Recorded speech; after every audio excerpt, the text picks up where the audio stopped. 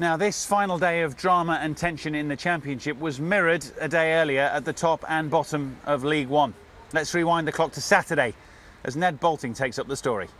Never mind the Championship, the real drama is here in League One. For seven teams today, it's now or never. If Doncaster win, they're up. If they don't, Forest can go up by beating Yeovil. Carlisle must win to claim second, but would still rely on the others dropping points. Gillingham have to win to stand a chance, so must Bournemouth, although a point could be enough, and neither Crewe nor Cheltenham are safe yet. But perhaps it's here that the stakes are highest, Whaddon Road, where Cheltenham need a win, and so too, for very different reasons, the Doncaster Rovers. Packed to the rafters, the home team on the edge. Doncaster and their Megabucks chairman John Ryan, alongside Sean O'Driscoll, just one win away from the championship. History not so much beckoning as waving wildly. Keith Downing, the Cheltenham boss, expects a storm. But it's at Gresty Road where the action starts. Kenny Lunt, generous. Deane Smalley, grateful. Just five minutes have been played. That doesn't change the table, but this does. Julian Bennett, physical, and then clinical. And suddenly Forest are up to second place and automatically up. Six minutes later, and Yeovil are breached again, unable to contain the red tide, unable to do anything about Kris Commons. 2 0 now. But Yeovil aren't about to give up and go home. Acute 1 2 sends Jaime Peters through, and suddenly Forest lead is down to one, but still, that's enough for second spot. More kamikaze defending, and this time it's Paul Huntington, the Leeds defender, handing Simeon Jackson the chance to give Gillingham a lifeline. As things stand after that goal, they're level on points with Cheltenham and right in the mix. Back at Whaddon Road, news has filtered through and Cheltenham respond. Neil Sullivan unsighted. Steven Gillespie wheels away in delight and surprise. His 16th goal of the season means Cheltenham move clear of trouble. And if that's bad news for Doncaster, this is worse. Lewis McGugan's free kick restores Forest's two-goal cushion. Meanwhile, Oldham continue to batter Crewe, but Neil Eardley's goal makes little difference as things stand. Crewe are still somehow hanging on. But if Bournemouth score at promotion-chasing Carlisle, that all changes, and with each passing minute they get closer, the bar keeping out Max Gradel's deflected shot. Back at Whaddon Road, Cheltenham see out their half-time lead.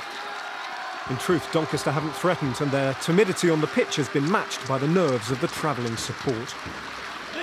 Honestly, they don't deserve to be here. None of them.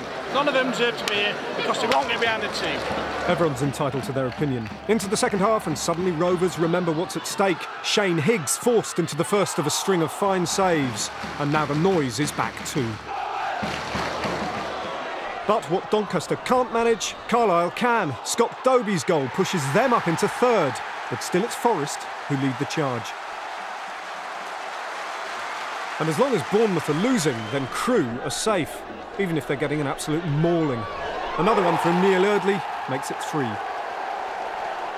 And at Elland Road, Leeds have finally woken up. Bradley Johnson's volley is bad news for Gillingham. They must win, and now they're not.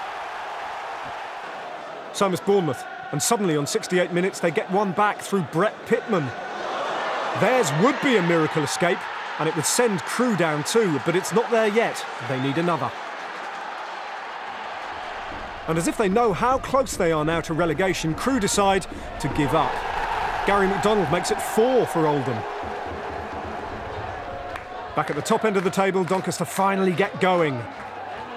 Paul Green smashes in the equaliser and roars at his supporters to get behind them. High fives and a skip in their step now and praying for more. They're one goal from promotion.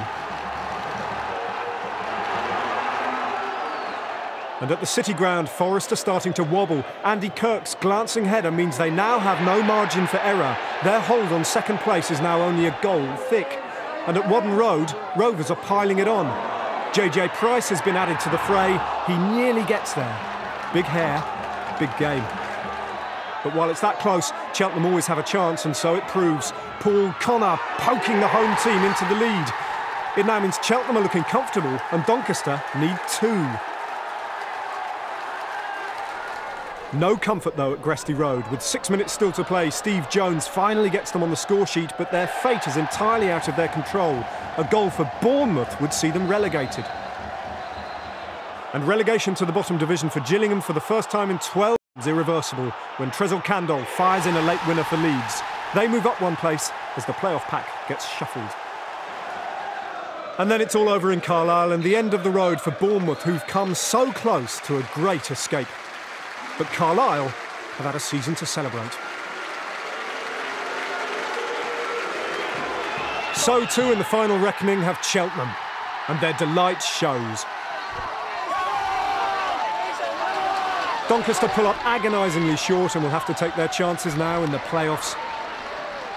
Cheltenham boss Keith Downing took over when they seemed doomed. It's been a remarkable turnaround. We keep on defying the odds, you know, and um, the staff, the players, and they've been absolutely fantastic. From six months of taking over, they have really worked their socks off, and it's just all culminated in a fantastic day today.